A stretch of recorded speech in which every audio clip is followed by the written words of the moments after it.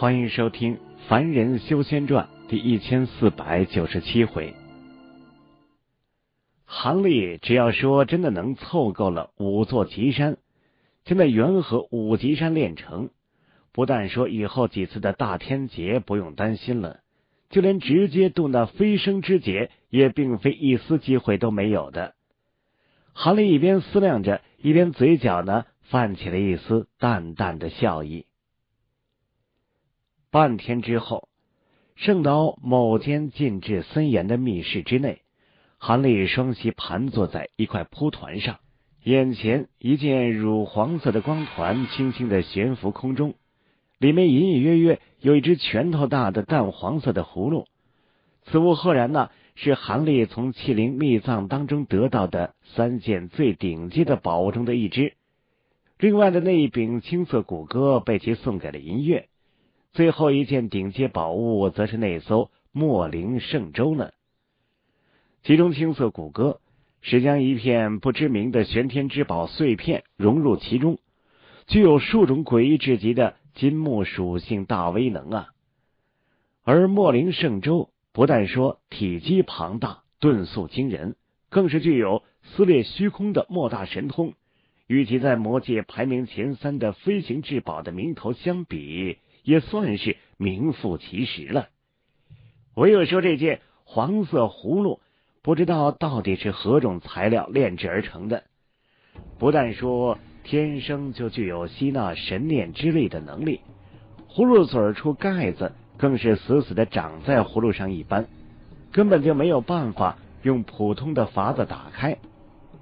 韩立一时之间竟然没有办法探查出里面到底装的是什么东西。更加没有办法知道此宝的真正用途。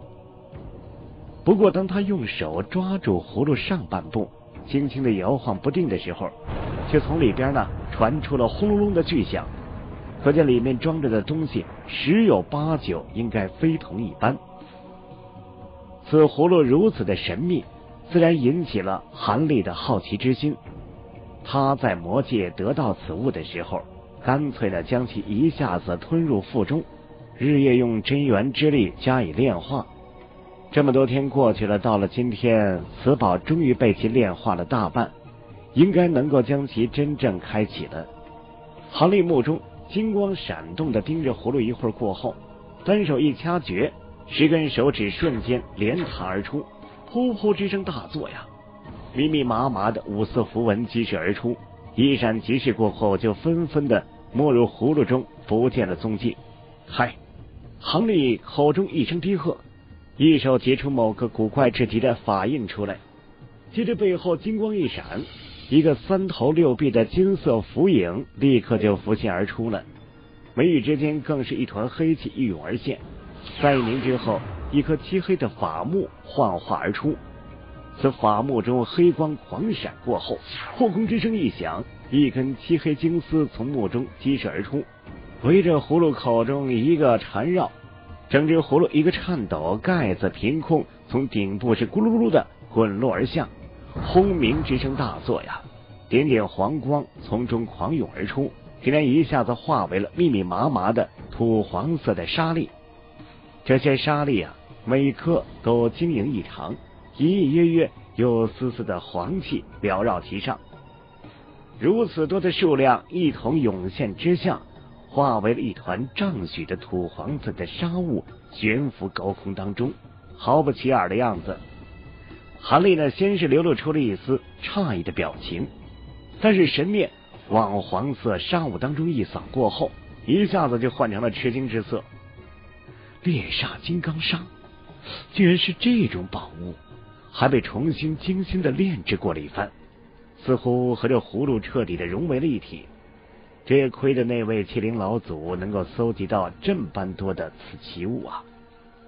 韩立喃喃说道，忍不住一手冲黄色沙雾虚空一把抓去，嗤嗤之声大响，一股无形的吸力瞬间冲黄色沙雾一卷而去，轰的一声。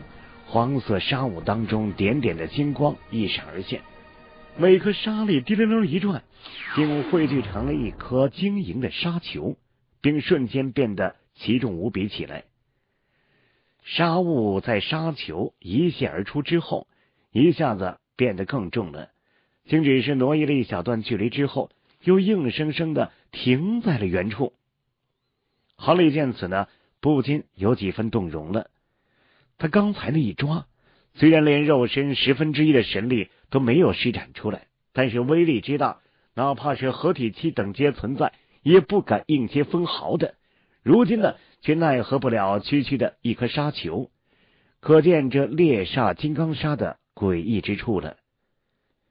作为一些上古典籍中了解到这罕见材料的韩立，却知道此沙最厉害之处还不在这个上面，而在另外两种恐怖的大威能之上呢。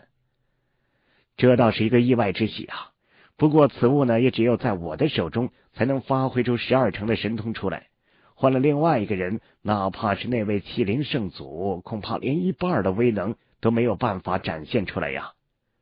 韩立的嘴角呢泛起了一丝笑容，一把将那葫芦凭空射到了手中，然后口中念念有词，抬起手中之物，冲远处的沙雾一晃，扑哧一声，沙丘一下子自行溃散而开，重新淹没进了滚滚的沙雾中，而沙雾一个模糊，就幻化成了一条巨型黄蟒，扑向了葫芦。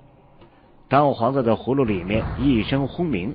就将黄蟒一吸而入，同时顶部的霞光一阵缭绕，原本掉落的盖子竟然不知怎么的重新出现在了上边，变得和原先的一般无二。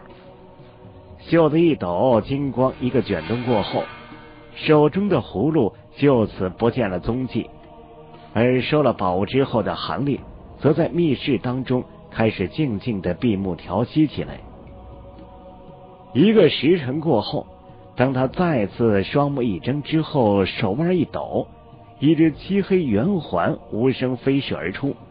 哈利口中默念几声咒语，手指呢冲此圆环连点几下，金色霞光狂闪之下，一个黑乎乎的东西从圆环当中一喷而出，一个闪动过后，静静的悬浮在低空处不动了。竟然是一个表面遍布纤细紫纹、颜色乌黑的虫卵，足有西瓜一般大小，体积颇为巨大。韩立望着巨卵，这眉头微微一皱，单手冲其微微一招，并将此物凭空射到了近前处，五指一分，一手就按在了黑色虫卵上，然后双目一眯，嘴巴微动不已，似乎呢在用某种秘术探测什么。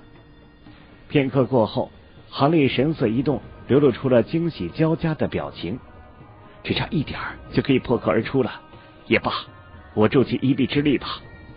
话音刚落，韩立猛吸了一口气，顿时按在虫卵上的五指金光大盛，一股庞大至极的真元之力滚滚涌出，飞快的注入其中。原本毫不起眼的虫卵，表面紫纹晶莹发亮，同时呢。体积忽大忽小，胀缩不定。顷刻之间的功夫过后，砰砰的心跳之声先从虫卵当中开始传了出来，由小变大，一声接一声，渐渐的清晰异常。韩立目光闪动，手掌当中狂涌而出的精纯真元，绝口泄洪一般，丝毫不见停歇。足足一个时辰过后。黑色的虫卵在狂闪当中一下子寸寸碎裂而开，同时呢，一道金光从中激射而出，一个模糊过后，一个三寸高的紫金小人在高处一下子现身而出了。这个小人啊，手足俱全，双目晶莹如玉，翩翩的须发，嘴鼻全无，脸上隐约只能看到一片金蒙蒙的霞光而已。啊！这就是传闻中的噬金虫王。哈利看着紫金小人，神色都不禁有些怪异起来。但是下一刻呢，紫金小人原本呆滞的目光微微一动，竟然一下子看向了韩立。几乎同一时间，韩立感觉到脖颈处两侧一凉，两道持续长的金光丝毫征兆没有的闪现而出，并往中间猛然一脚而来。韩立脸色一变。但是整个身躯一个模糊之下，就仿佛鬼魅一般的从原处消失了。两道金光一个交织，顿时以不可思议的速度从空荡荡处一闪而过，在一个恍惚一散消失了。波动一起，韩立的身形出现在了密室的另一个角落处。但刚一现身而出的他，却一脸的吃惊之色。忽然，一只手掌一动，往脖颈上摸了一把，结果看似光滑异常的脖颈两侧，竟然各自有一道血线浮出。虽然说浅淡异常，但是仿佛被利刃一擦而过的样子。以韩立的肉身强横，竟然会这么轻易的就被伤及到，这可真是一件大出预料的事情。韩立心中大凛呐，目光再一扫向不远处的紫金小人，神情不觉有几分凝重，并且突然一张口，竟咬破了舌尖，喷出了一团精血，同时一根手指飞快的虚点而出，那团精血滴溜溜一转过后，竟然凭空幻化成了一个不知名的血色符文，被韩立一催之下，就凭空狂胀到了斗般大小，并开始呢。忽暗忽明的狂闪不定起来。与此同时，紫金小人却身躯一震之后，眉宇之间浮现了一个豆粒儿大小的同样的符文，并一闪即逝，没入其头颅当中，不见了踪迹了。喊了一声低喝，紫金小人身躯一弓，并剧烈的颤抖了起来，仿佛在遭受某种剧烈直接的痛苦。但是下一刻呢？小人忽然身子再猛然一直，十根手指冲韩立虚空一划，十道丈许长的耀眼剑光一下子就在韩立身前浮现而出，并闪电一般的一斩而下。剑光尚未真的触及韩立身躯，一股股森然的寒气就先一步一步的一卷而下，护体灵光竟丝毫没有办法阻挡。即使说以韩立现在的修为，一接触这股寒意，也情不自禁的激灵灵的打了个冷战，身躯四肢一下子变得迟缓无比了起来。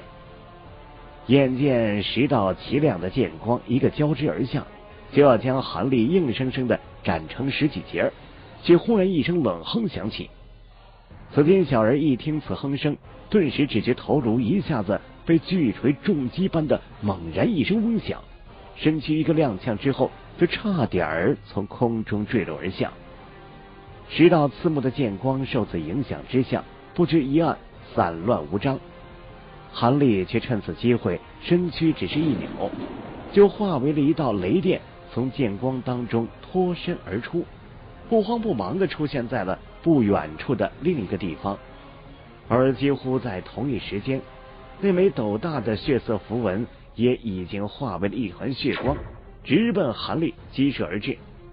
韩立双目骤然一亮，眉宇之间突然无数根神念金丝激射而出，并全都一闪没入到了近前处的血色符文当中。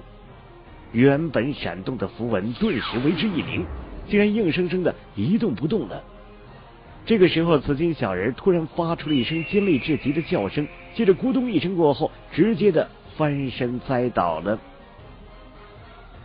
紫金小人竟就此陷入到了昏迷当中，一时没有办法苏醒过来。韩立眉宇之间金光一闪，黑色的法幕这才一散消失，并脸带一丝异色的扫了地面上的紫金小人一眼，轻吐了一口气。早就知道这小东西进化到了虫王之后，原先所下的禁制肯定不太好用的。幸亏那三只准虫王在互相吞噬前。就被我另行种下了其他后手，否则的话，想要制住这头进阶后的虫王，还真的是一件头疼的事情呢。不过为了保险，看来现在只有再用秘术重新祭炼一番了。韩立喃喃的说完，一只袖子立刻一抖，上百杆密密麻麻的番旗一起飞出，狂闪之下，竟然在密室当中形成了一个数丈大的法阵，法阵中心处。赫然正是那昏迷不醒的紫金小人儿。韩立一边口中念念有词，一边手中的数道法诀接连打出，全都一闪即逝的没入到法阵当中。呼呼几声过后，法阵四周一下子喷出了无数道五色细丝，飞快的往中心一缠绕之下，就将紫金小人困住了个严严实实的。接着，韩立再一张口，又有数团精血一喷而出，滴溜溜的一转，化为了血纹，向紫金小人击射而去。与此同时呢，整座法阵嗡鸣之声大响，阵阵光焰是狂涌而现，也向中心处一卷而去。不知道过了多久之后，密室大门一打而开，韩立面带一丝微笑的从里面走了出来。显然呢，这番祭炼，那头噬金虫王应该是十分的成功了。一个月后，西灵子和白果儿辞别了韩立，踏上了前往蛮荒世界游历之旅。又过了十几天之后，韩立带着银月和朱果儿二人也离开了圣岛，并乘坐莫林圣舟一路往妖族领地疾驰而去。转眼之间呢。大半个月过去了，莫林圣州一路之上碰到的一些妖族自然不少，但是这些妖族无论是等阶高低，远远的看到了莫林圣州小山一般庞大的身躯和那甲板上站着的那些气息惊人的魔晶傀儡，自然大惊，能逃多远就逃多远去了。可不久之后。哈利这艘飞舟在经过了一片内海上空的时候，还是惊动了一名在海中深处静修的不知名的妖修。这名妖修大概有合体初期的修为，他在从万余年前将洞府迁居在此地，并将其他几个不弱的妖族族群呢强行赶走之后，就将这一片资源颇为丰富的内海视为自己的领地了。此妖虽然说脾气一向是暴躁异常，可是实力在妖族当中算是极高的，再加上拥有数天不凡的宝物，所以就算是不多的其他同阶的妖族，也大多不敢招惹他。故而这万余年来，无论哪一妖族要在此海活动，大多都要先和他打一声招呼才可以。但是这一天，这位妖修啊，正在海底洞府的密室当中。炼制一炉对其极其重要的丹药的时候，忽然密室外一阵报警的尖鸣传了过来。此妖不提防之下，心神受扰啊，心中一惊，手中所持的一柄玉扇在催动的青色的妖焰不觉大了三分。轰的一声，其身前一座数尺高的白金玉鼎狂闪了几下，顿时一股焦糊的味道传了出来。这名合体期的妖修见此，顿时一声暴怒的低吼啊，脸上狰狞之色接连数变，连密室外的报警法阵都不去仔细看一下，就袖子一抖，化为一道白光，遁出了密室，直奔海面之上击射而去了。那一炉丹药的材料呢，十分的珍惜，是此妖花费了偌大的力气，这才好不容易搜集一次炼制所用。现在就这么毁掉了，让其痛惜之余，自然将心中的一股怒气直接放到了造成此事的罪魁祸首上。他虽然说没有见到触动海面报警禁止之人，可是心中啊，却早已经凶狠狠的想到：这些人若是有什么来头和背景的还好，只要是能够赔偿我的损失，那。我就可以大事化小，小事化了。哼，若是没有的话，说不得就要将对方挫骨扬灰，以报这一炉丹药之仇了。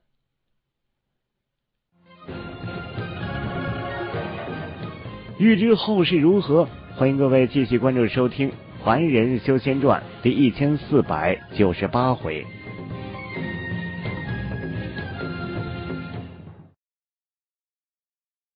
凡人修仙传》第一千四百九十八回，这名妖修啊，身为水族之身，水遁之术那是奇快无比啊！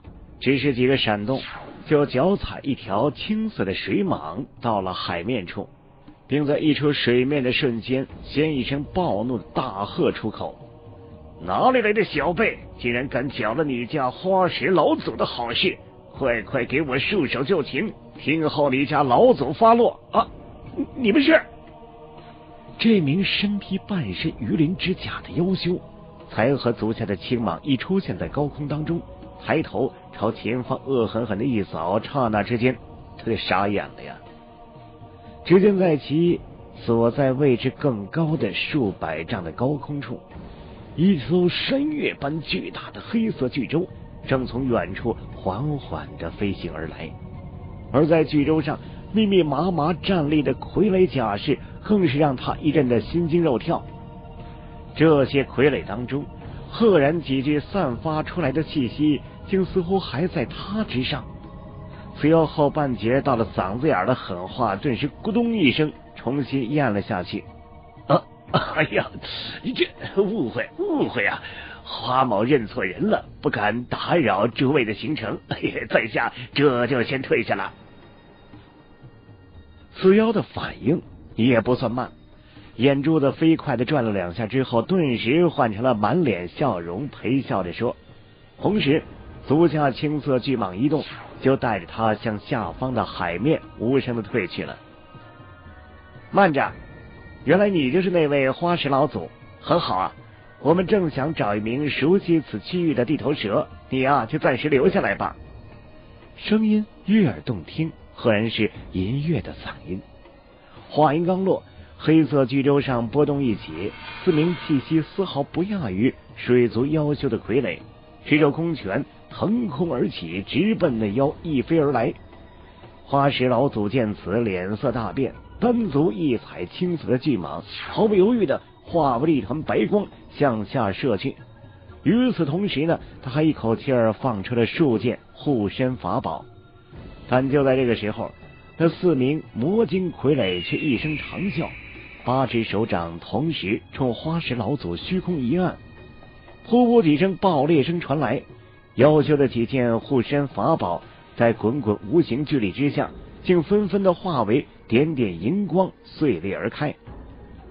这位花石老祖和那条青蟒，则在四周空气一紧之下，顿时身躯一沉，没有办法动弹分毫了，直接啊被硬生生的困在了半空当中。花石老祖的脸色变得煞白，只能眼睁睁的看着那四名傀儡一飞过来，其中一具傀儡手臂一动，就将其和青蟒同时一提在手，再转身一起往来时的黑色巨舟飞去了。片刻的功夫过后，在魔灵圣州的最高一层的大厅当中，他终于见到了坐在主人椅子上的韩立。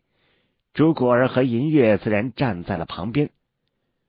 扑通一声，傀儡五指一松，就将花石老祖和青蟒重重的丢在了甲板上，面无表情的退出了大厅。花石老祖虽然身躯一时之间恢复了自由，但是体内真元。却不知被那些傀儡动了什么手脚，浑身的法力竟一下子凝滞不灵起来。再加上音乐气息比其还要强大，韩立的灵压更是若有若无，给其一种深不可测的恐怖的感觉。如此一来，这位水族妖修纵然说满心的惊怒，也不敢再有任何反抗的举动。反而苦笑了一声，冲韩立深施一礼，老实的说道：“呃，在下花石拜见了几位道友，不知诸位将在下拘来，可可有什么效劳的地方吗？”韩立打量了这位合体期的妖修几眼，脸上流露出了似笑非笑的神色，可是他并没有马上开口回答什么，倒是一旁的银月眸光流转之后，轻笑着问道。哼你现在倒是挺识趣的呀！一开始的时候为何不听我们之言，反而想要跑掉啊？哎呀，这个，嗯，道友取笑了。花某刚才那只是下意识的一种自保而已啊！毕竟诸位看起来极其的强大，在下自然要赶紧退让的呀，呃是不是啊？花石老祖有些尴尬，并用目光不时的偷偷的看上韩立几眼。一副极其小心的模样。哼，阁下刚才一露面时的气势，可没看出哪一些只是自保而已？莫不是道友原本就是想找我等的麻烦来了吗？银月哼了一声，脸孔蓦然一板，声音一下子变得凄冷无比。在下可绝对没有丝毫针对几位的意思呀，这这只是一时糊涂，误以为诸位道友是路过的一些小辈，这才会有些肆意妄行。呃，实在是得罪得罪了。花石老祖一下子变得汗流浃背，慌忙的解释了起来。银月咯咯一笑，不再继续说了。一直在椅子上端坐的韩立这才淡淡的开口说道。我不管你原先是何打算的，但既然说敢挑衅在先，现在就必须帮我做一件事情，那才可能放你离开。否则的话，一番重重的惩戒自然是免不了的吧。花石老祖一听这话，心中是暗暗叫苦，可到了这个时候，自然口中半个不字都不敢出口了，只能强打精神，勉强一笑：“呃，几位放心。”呃，无论诸位想让花某做什么事情，只要说在下能够做到，我我一定会竭尽所能的。呃，但不知呃到底是何事情啊？行了，你不用担心，让你做的事情嘛，很简单，只是帮我找一处地方而已。听说这里似乎有一处上古时候就遗留下来的残缺的祭坛，但是似乎啊会自行移动，飘忽不定。这件事情。是真的吗？杭立淡然一笑：“哎呀，原来阁下是来找那座思南四方坛的呀！这个花某还真的就知道一些的。不过呢，要找到这个东西，大半要靠一些运气啊。在下能做的，也就只是带诸位去几个此祭坛经常出现的地方而已。”花石老祖闻听此言，心中一松，连忙回答道：“那好吧。”你就先带我们去这几处地方看看吧。”韩立不加思索的说道。一旁的朱果儿听闻这番话，也不由得双目一下子亮了起来。黑色巨舟在海面上停留了片刻过后，就发出了一声轰鸣，再次破空飞遁而走，消失在了天边尽头处。两个月后。一片生满参天巨树的森林上空，魔灵圣舟的庞大的身影一闪浮现而出，在巨舟前端的甲板之上，韩立带着银月和朱果儿均都出现在了那里。花石老祖这位合体期的妖修，则一脸恭敬的站在三人身后略远一些的地方。到了此时。这位高阶妖族已经知道了韩立人族新晋大成老祖的身份，在一番大惊之余，原先心中的一点小心思，自然早就抛到了九霄云外了。他这段时间内，这老老实实的带着韩立等人，走遍了附近区域的大半地方，更一连去了数处那座上古祭坛出没的地方，但是可惜啊。至今为止，韩立等人呢还是一一扑空，并没有找到这祭坛所在。这里就是你说的下一个地方啊？韩立头也不回的问道。呃，是的，前辈，这片密云凶林，即使在我们妖族，那也是名气不小啊，有化神以下绝地之称啊。除了炼虚以上存在进入此中可以勉强自保之外，修为低一些的人进入此地，那十有八九会丢掉性命的。因为这密云凶林当中，不但有些天然陷阱是凶恶异常，还有一些已未开灵智的妖兽极其强大呀，更有几种特有的毒虫难以招惹。呃，当然了，这一切呃，对前辈这样的存在来说，自然是不值一提，呃不值一提啊。花石老祖答应了一声之后，恭敬的解释：“那座思南四方坛真的在这里出现过吗？”韩立点了点头，看不出表情的又问道：“回禀前辈，在下方的这片沼泽中心处，呃，曾经有些道友远远的呃见过那上古祭坛几次。”不过，这祭坛本身已经残缺，除了表面一些上古符文对一些阵法师还有一些参考的价值之外，这对一般人来说，呃，实在是没有多大的用处了。故而呢，倒也没有什么人真的过去仔细的看过呀。哼，既然这样，我们下去吧。我有一种预感，祭坛十有八九啊，应该就在这里。韩立嘿嘿一笑，旁边的朱果儿和银月闻听此言，都是大喜过望。于是几个人呢，当即从巨舟上飘落而下，直往下方密林当中的一片广大的沼泽一飞而去。这沼泽上空笼罩着一层淡绿色的毒雾气，炼虚以下的修士，除非说有一保护身，否则的话，绝无法在里面待上太久的。再加上雾气中生有一种类似蚂蟥的细小的毒虫。一旦不查被侵入体内，想要驱逐，那可就是千难万难了。故而对一般的妖修来说，的确算是凶险万分之地。但这一切对于韩立来说，却犹如平地一般视若无睹。其体表呢，只是数团银焰，一声呼啸飞出之后，阵阵热浪顿时向四面八方狂卷而去，竟将方圆亩许之内的毒物。全都扫荡一空，那些毒虫之类的存在，更是在顷刻之间被银焰焚烧一空，根本就没有办法靠近韩立几人半步。偶尔出现了几头不知好歹的妖兽，韩立呢也根本不用出手，就被银月一人轻易的斩杀掉了。没有多久的功夫，一行人就来到了沼泽一处不引人注目的角落当中。韩立骤然目光一亮，隔着数里之远，一眼就看到了一座高约百丈的古朴的祭坛悬浮在一片水坑之上。找到了，花池，你留在这里就行了，我们先过去吧。韩立面露一丝笑容，吩咐道：“花石老祖自然不会有任何的意见，急忙躬身答应了一声。而银月和朱果儿。”则兴致冲冲的跟着韩立直奔那高大的祭坛而去。一小会儿的功夫过后，几个人就同时的出现在了祭坛近前处。韩立身形一顿，他抬头仔细的打量着眼前的高大建筑几眼。只见这祭坛呈四棱状，由上往下分成三层，表面遍布着一些不知名的上古文字。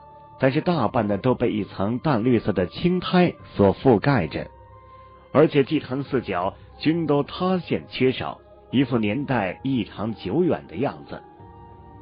果然不错，的确是上古流传下来的司南古坛。按照宝花之言，只要在特定的时间，在这上面用秘术来激发，来测算其所说的那几个空间坐标，就可以寻找到那小灵界的入口了。果儿啊！你是小灵界出生之人，神魂中天生就带有此界的一些气息。一会儿呢，还要借你一丝神念一用。如此的话，这所测的位置才可能更加的精确一分呢。韩立回头冲一旁的朱果儿说道：“是，晚辈一定尽力辅助。”朱果儿闻言，急忙答应了一声。从他欣喜异常的表情来看，显然呢，也对能够重新回到小灵界是极为期待的。一旁的银月。则含笑不语了。韩立将南宫婉可能在小灵界的事情，倒并没有隐瞒这位红颜知己，早就告知了。以银月此时的心境，自然不会有一般凡尘女子嫉妒等想法，反而欣然的呢，愿意跟他一同去小灵界寻找南宫婉回来。而韩立虽然自信宝花不可能在此事上哄骗自己。但是这种借助上古祭坛来测算其他界面入口的事情，还真是第一次去做。在施法过程当中，会不会出现什么意外？测算结果会有多大的误差？这都是不好说的事情。故而韩立看似表面平静，但是事到临头呢，心中还是不由自主的有一丝凝重的。要不是据那宝花所说。用这种上古祭坛来测算小灵界位置，需要特定的时间和时辰才可。他早就开始着手此事了，哪儿还会等到今天呢？郝丽看着眼前的祭坛，心中的一些念头飞快的转动着。大袖蓦然一抖，一片金光往旁边一卷，就将自己和朱果儿同时一包不见了。下一刻，祭坛最高层处波动一起，两个人就同时出现在了那里。音乐却仍然留在了祭坛最下方，只是抬头呢，凝望着韩立的一举一动，面带一丝关切之色。韩立目光四下一扫，祭坛上面空荡荡一片，竟然任何物件都没有。不过，当他的目光往地上一扫之后，就立刻看到了一个四周边缘标有一些刻度标记的圆形的纹阵。整个纹阵呢，足有十余丈大小。几乎遍布了祭坛顶层的每一处地方，但是，一些角落处的符文却有一些磨损的痕迹，看起来是极为的模糊不清。韩立神色动了一动，没有流露出太意外的表情。同时啊，早已经打听清楚了，只要说这纹阵大体完好，一些局部的残缺，并不会对其施法测算有太大的影响的。哈利深吸了一口气之后。两手一掐诀，顿时一道法诀打入到了文阵当中。轰的一声，下方看了不知存在多久的文阵狂闪了几下之后，被一下子激发而起。同时呢，祭坛上空开始出现了五颜六色的光点儿，往着祭坛之上灌注而去。亨利看到这儿，眉梢一动，十指连弹，更多的法诀被一打而出，纹阵轰鸣之声越发的剧烈。渐渐的，连整个的祭坛都开始微微的震动，同时，一条条柔光带开始在附近凝聚而出，并盘旋飞舞而起，声势好不惊人。就在这个时候，韩立却一声低喝，手中法诀一顿，一只手掌五指一分，往地面一按而去，扑哧一声，一股青蒙蒙的金光柱一下子从手心当中喷出，通过纹阵。往整个祭坛狂注而入，一吸入这般精纯的法力之后，祭坛传出的轰鸣之声越发的巨大了起来。此种情形足足持续了一顿饭呢。韩立往祭坛中注入的法力几乎接近体内全部真元的四分之一，而从文阵中传出的隐隐的吸力仍然不见停止的意思。韩立见此，微微的吸了一口凉气。怪不得，虽然许多人都知道这种上古祭坛的存在，但是针对其感兴趣的却并没有几个。催动此祭坛所需要的法力消耗，就绝不是大成以下存在可以考虑的。当然了，若是配合一些顶级的灵石，一些合体其中的法力雄厚者，也未必说不能有机会。激发起祭坛一些功能，但是到时候真的能有几分效果，那就不好说了。而这种上古祭坛的功用，又大多是一些不重要的辅助类型，一些大成存在没有必要，估计也根本不会做这种出力不讨好的事情。韩立心中想着，下方文阵突然之间一阵光芒刺眼，吸力一下子消失了。随之呢，就见文阵发出“砰”的一声过后，无数五颜六色的符文从中狂喷而出，并滴溜溜一转，在祭坛上空一下子现出了一个光蒙蒙的巨大的圆盘出来，一圈圈和文阵中刻度相似的符号标记几乎遍布了圆盘中的各处，但有的光芒夺目，有的却暗淡至极。亨利目睹这一切。脸上情不自禁的流露出了欣喜的表情，身躯一直，手掌直接离开了符阵，但是另一只袖子一抖，忽然一物从中一飞而出了，这竟然是一面青蒙蒙的古镜。欲知后事如何，欢迎各位继续关注收听《凡人修仙传》第一千四百九十九回。